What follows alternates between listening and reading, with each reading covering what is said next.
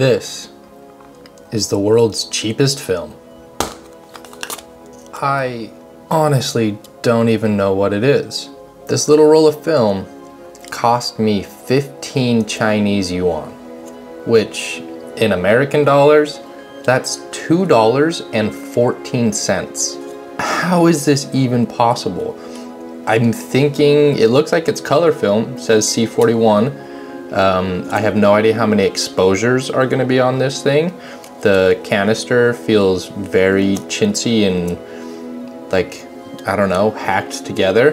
But you know what? It's got film in it, so I'm gonna go take a look and see if we can shoot this thing. Let's choose what camera we should put this thing in. I'm kind of thinking that we should shoot this in the Fujica.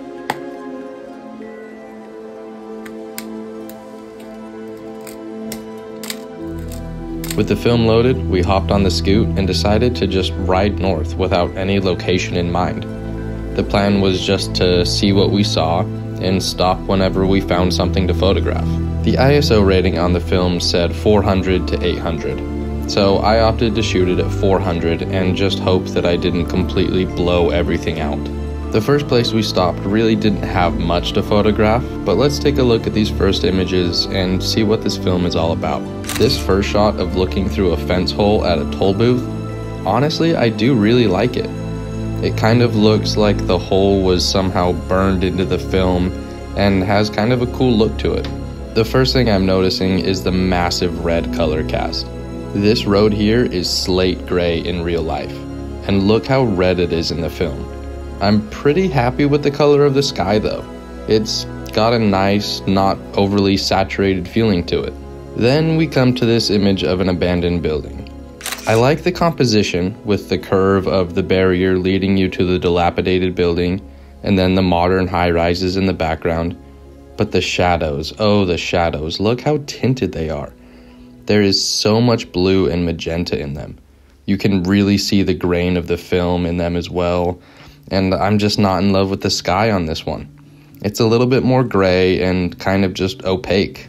We tried to follow the kites and see who was flying them, but we never could. So we got back on the scooter and eventually found our way back to a beautiful park here in Beijing. This first shot looking through the aspen trees, and I don't even know what to say. This film is all over the place. Some images are super heavy in the red spectrum, but then there's this one that's just super green and it's like a weird, almost minty green. I think there's a lot of blue getting into the shadows and mixing with the green, and that's kind of why it's showing up minty. I do like the sun flare. I think that came out nice, and I'm impressed that the film was able to handle the bright highlights of the sun as well as retain a fair amount of detail in the shadow. So, good job, film. There is some unique artifacting that you can see here, kind of snaking its way through the image and I think I have an idea about what's causing it. More on that later. I am really happy with how this image of the flower came out. I think it's got good color reproduction. I really like the tone of the greens in the background, and I definitely like the way that the reds are coming through on the flower. But then we come to this image, the symposium of chaos and confusion. So I love the bright flare and the way it seems to mush over the entire image, giving it this dreamy fantasy effect I think the subject, which is this little plant, actually looks pretty good. It's got good highlights and is reasonably sharp. Then there is this, which it's got to be a thumbprint, right? At first, I was really mad about it, and then as I've looked at it more and more, I actually kinda like it. And yeah, I get that technically it's messed up, and I would be super annoyed if this image was for a client or a real project. But hey, it's not. And honestly, I kind of like the swirls, they're fun. So, what even is this film, and why is it so cheap? As for the price, here's how it really stacks up. You can grab a roll of Portra 800 for about $18. You get 36 exposures, so that equals out to roughly 50 cents per frame. With the mystery cheap Chinese film, it's $2.14 for 10 exposures so that means it's roughly 21 cents per exposure, which really isn't that much of a difference. It's only about half the price per exposure than Portra, and probably only a quarter as good. Maybe even an eighth as good. Some of these images are pretty bad. So is it worth it? well, I doubt I'm ever going to shoot it again. But if you have a half frame camera like the Ektar H35 or the new Pentax, then you could get 20 exposures out of the little roll. Maybe then it's worth it. I'm not sure. This roll of mystery film certainly has some fun aspects to it though. I like the bright fuzziness and the highlights that you can see here on the yellow bike. I do think the greens are pretty saucy and have a good moody feeling to them.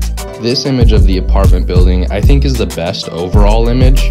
Not my favorite, but the best in terms of technical reproduction of the subject.